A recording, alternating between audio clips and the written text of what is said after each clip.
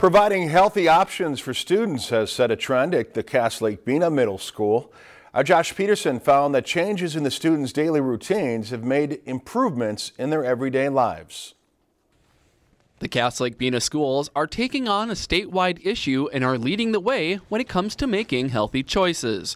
Thanks to a test program issued by the Center of Prevention at Blue Cross and Blue Shield of Minnesota, the program not only engages students in making healthy choices, but to get out and be active.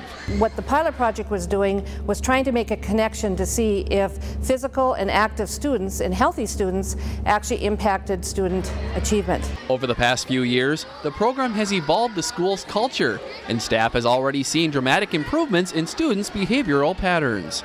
We've seen a positive experience, I think, in behavior. Um, our kids actually love being outdoors, um, especially at our middle school.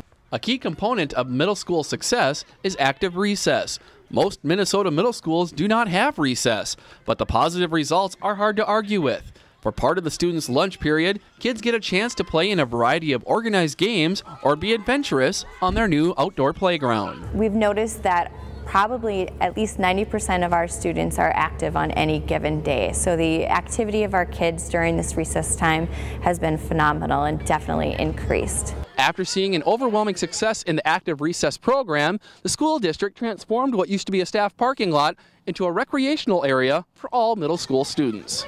We've moved um, our recess out to the back side of the school. So with the new playground and the new um, safe area in the back, um, it's, it's just so much better.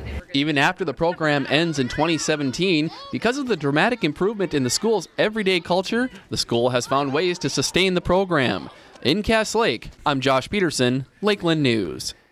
Now, this is the last year the school will be part of the study conducted by Blue Cross and Blue Shield of Minnesota, but the school plans to continue with the successful elements of the program for years to come.